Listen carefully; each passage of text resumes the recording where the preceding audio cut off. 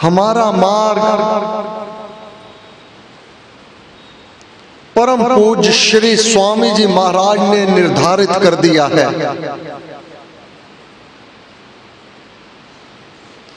उस पर चलना ये मेरी बुद्धिमता है।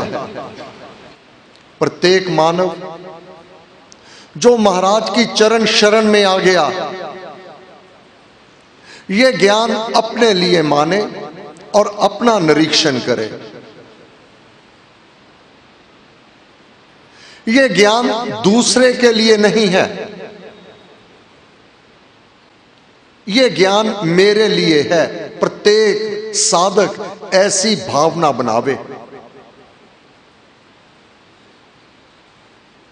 ये किसी और के लिए नहीं कहा गया।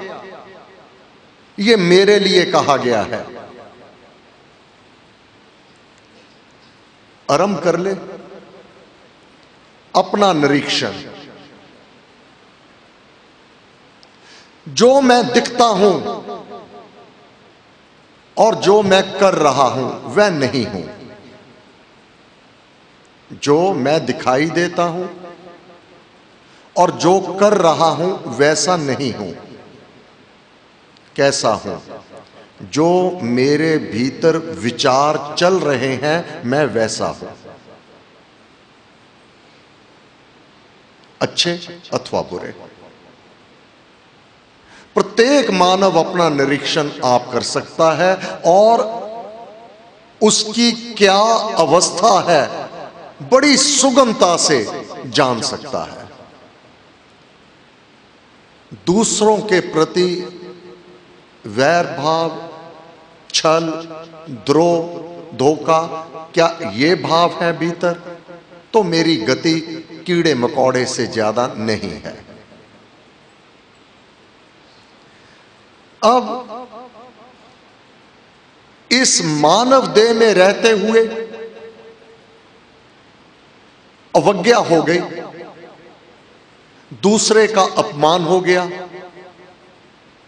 इस शरीर द्वारा परंतु जब एकांत में बैठा उसके लिए जो पश्चाताप हुआ, वह तू है। जो तेरे से अवज्ञा हुई, वह तो आवेश के कारण हुई अथवा अज्ञान के कारण हुई। जो भी तूने किया। परंतु अब जब तू एकांत में बैठकर चिंतन करता है अगर आत्म गलानी होती है, इसका तात्पर्य तू भीतर से पवित्र है।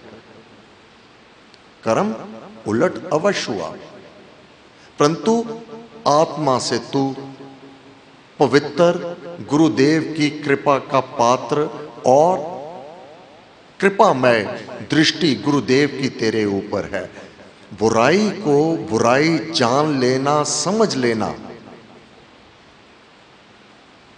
यह बहुत बड़ा गुण है। अन्यथा, व्यक्ति कितना भी बुरा कर्म कर ले, उसको यही नहीं पता ये मेरा बुरा कर्म है। तो वास्तव में, जो मानव के सूक्ष्म विचार हैं,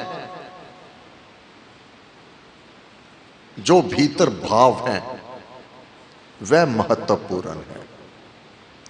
उन्हीं भावों से ये बाहिया, जो कर्म इंद्रियाँ हैं, जैसे भाव होंगे, वैसे कर्म होंगे। अब सूक्ष्मतर जो प्रारब्ध साथ में चलता है, समय कुछ समय अपने प्रारब्ध कर्म के कारण ही आया करते हैं। एक व्यक्ति एक स्थान पर बैठ करके बहुत हँसी खुशी, बड़ा सुखमय जीवन व्यतीत कर रहा है और बहुत भीतर से प्रसन्न हर्षित है। साथ में ही एक घर छोड़कर दुखी है, कष्ट में है, तकलीफ़ में है। वह एक सा समय है। क्या कारण है? कारण तूने अपने बीज कैसे बोए हैं? शुभ कर्म के, पुण्य कर्म के। परहित सेवा परहित पर उपकार के। परहित परोपकार उसका फल तो सुख, वैभव, ऐश्वर्या, मन की शांति। और सभी पदार्थों को प्राप्त कर रहा है और सुगमता से प्राप्त करता है। साथ वाला मन में दुखी बैठा है, तकलीफ़ में बैठा है, एक ही स्थान पर है, एक जैसा समय है और एक जैसा सब कुछ वह वातावरण प्राप्त हो रहा है, परंतु कर्म बीज अलग अलग है। एक ने आम, बोया आम मीठा फल प्राप्त हुआ।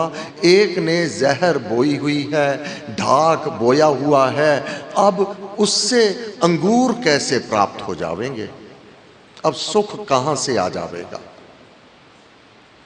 अपने सूक्ष्म भावों की ओर विशेष ध्यान देना होगा, क्योंकि कर्म, कलाप, बीज बीज से तरु। एक वृक्ष को पैदा होने के लिए बीज चाहिए। उसको तरु, पौधा लग गया, पेड़ बन गया। अब उस तरु को फल जो है, अब चाहे तो खींच करके, चाहे रीज करके। अगर उस तरु, उस पौधे का बीज आम है तो तुझे आम फल के रूप में प्राप्त हो जाएगा जो तू कर्म किया, अगर तूने बीज बुरे कर्म के बो दिए बुराई कर दी, भीतर भाव अपने मलिन रखते हुए कर्म करता चला गया तो तेरे को वह कड़वा ढाक, वही तो तुझे प्राप्त होगा। अब फल को प्राप्त करते हुए किस बात का रोना? यहाँ। अब गुरु की आवश्यकता होगी, जो सत का ज्ञान देगा। अब गुरु वह मार्ग बताएगा जिसके लिए हमने याचना की। गुरु महाराज के शब्दों में अपने पथ पर आप चलाओ। इसमें दो बातें हैं। एक, अपना पथ, जो आपने हमें मार्ग बताया है। यह कठिन लग रहा है हमें। यह कठिन है। चाहते हैं चलना, परंतु पूर्णता नहीं चल पाते। एक तो इनके शब्द अर्थ ये हैं कि जो पथ आपने बताया है गुरुदेव, सेवा, परहित परोपकार, नाम का सिमरन, स्वाध्याय इत्यादि। शुभ कर्म ये मन को बहुत भाते हैं।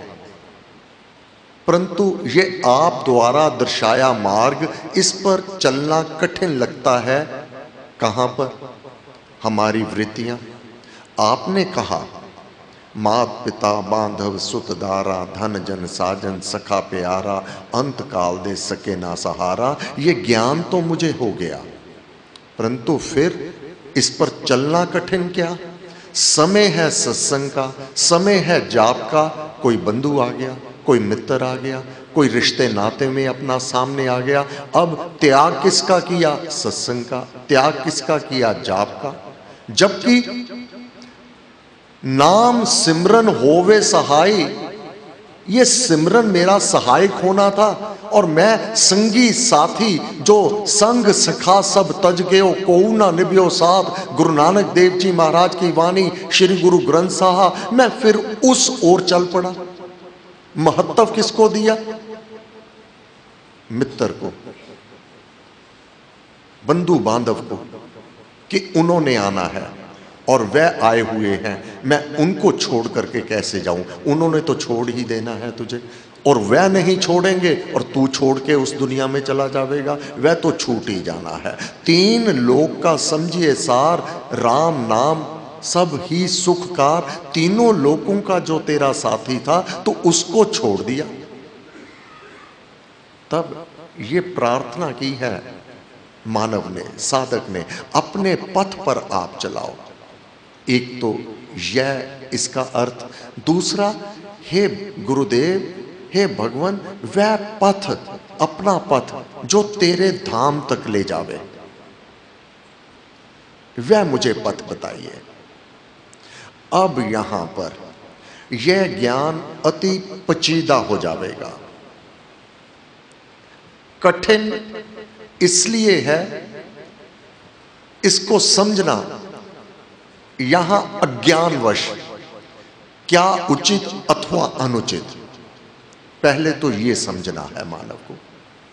जिस प्रकार अर्जुन ने कहा भगवान श्री कृष्ण चंद्र जी महाराज को, हे भगवान, मुझे एक निश्चित मार्ग बताओ।